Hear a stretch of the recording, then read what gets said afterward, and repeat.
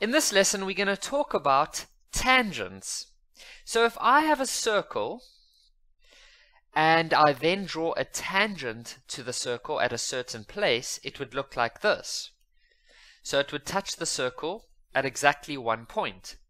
Now if I have the center of the circle, and I also know the coordinates of the point where the tangent touches the circle, well, then I can do some useful things. I could work out the equation of this tangent because I know that the equation of a tangent, or it's a straight line, so it's y equals to mx plus c. Now, we should always remember that a radius and a tangent cut each other at 90 degrees. So you can see that I've shown the 90 degree over there. So what we can do is we could work out the gradient of the radius, and so that will just be the gradient formula of y2 minus y1 over x2 minus x1, and so that will just give us 10 minus 2 over 7 minus 3, and that's going to give us 4. Now we know that when two lines are 90 degrees to each other, when you multiply their gradients, you should get an answer of minus 1. So 4 times by the gradient of the tangent, so I'm just going to say m tangent, we know that that should give us minus 1 because they are 90 degrees to each other. So then I could solve for m tangent and that's going to give me negative 1 over 4. So there I have the gradient of the tangent. So I could fill it in over here as negative 1 over 4x plus c. And then to find c, you just have to substitute any point on the tangent. Well, that's this point over here, the 10 and this, or the 7 and the 10. So the 10 is a y value, and then I fill in the 7, and then I can go ahead and solve for c. And that'll give us 47 over 4. And so the equation of the tangent is going to be y equals to minus a quarter x plus 47 over 4. So the main idea is to know that the tangent and the radius form 90 degrees. And if they form 90 degrees, then when you multiply their two gradients together, it should give you negative 1. Here's another example. Determine the equation of the tangent to the circle, and then they give us the circle equation, at the point 1 and minus 6. So in the previous example, I showed you using a diagram, but you have to get good at doing it without using a diagram, okay? Because then it just speeds up your time in the test. So we know that from this information here, we could get the center of the circle. So the center of the circle will be 1 and negative 3. What you can do in a test is just draw yourself a quick little circle. It doesn't have to be accurate or anything like that. It's just for yourself to remember, and then you could put the center of the circle. Then they tell us that the tangent is at the point 1 and minus 6. Okay, so that's going to be somewhere over here. And we know that there's going to be a tangent at that point, so it'll look something like that. So we know that we need to go and work out the gradient from the center of the circle to the point where the tangent touches. So we'll use the y2 minus y1 over x2 minus x1 formula. And so I'm going to say minus 6 minus minus 3 over 1 minus 1. And that's going to give us a 0 at the bottom, which is undefined, which is absolutely fine. It means that the line is completely vertical. So the tangent, it's going to be a bit of a weird one, this.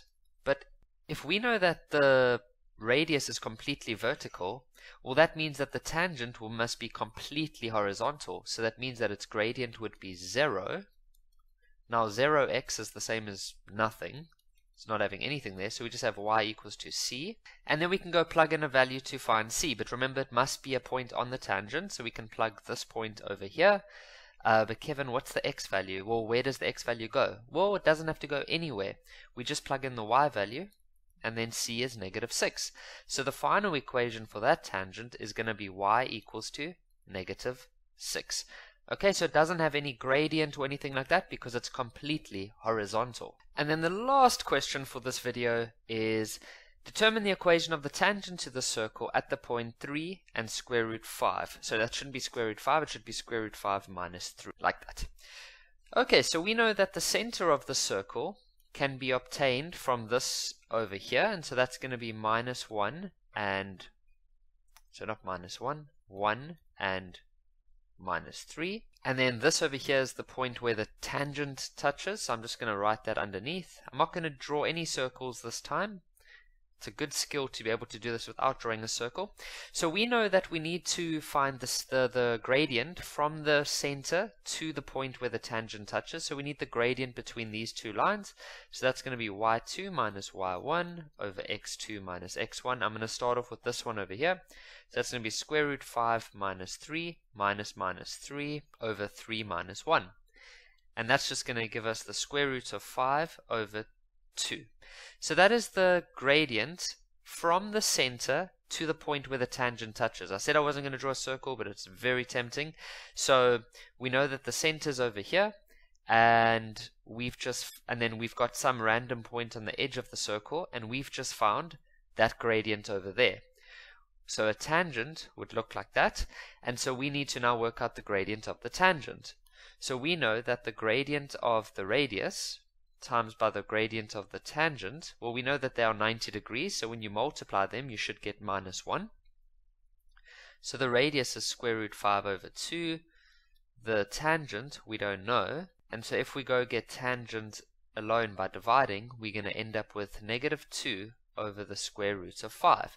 So the gradient of the tangent is going to be negative 2 over the square root of 5 plus c. Then to find c, you need to plug in the point, you need to plug in this point over here, which is that over there. So square root 5 minus 3 is the y value, and that's equal to negative 2 over square root 5 times by the x value at that point, which is 3.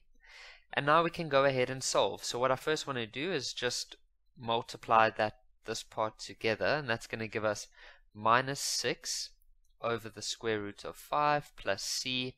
I'm then going to solve for c and you're going to get an answer of I'm just going to round this one to 1.92, so not the nicest of values. And so the final answer for that tangent is going to be y equals to minus 2 over the square root of 5x plus 1.92. 9 2.